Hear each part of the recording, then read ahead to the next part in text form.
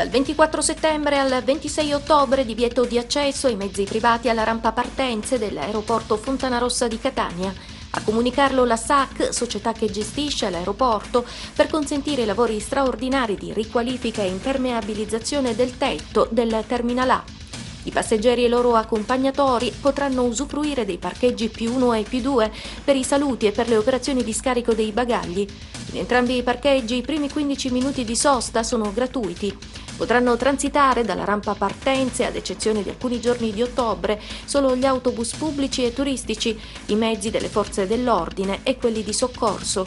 L'area in questione sarà presidiata da personale del servizio viabilità di SAC Service per informare gli utenti e rendere più fluido il traffico. L'intervento di riqualifica e impermeabilizzazione del tetto del Terminal A rientra nella programmazione del piano triennale degli investimenti 2017-2020 che SAC ha concordato con ENAC nel maggio dello scorso anno. I lavori saranno eseguiti da SAC in autofinanziamento e il costo complessivo dell'opera, che include i costi di sicurezza per le maestranze, ammonta a 838.639 euro.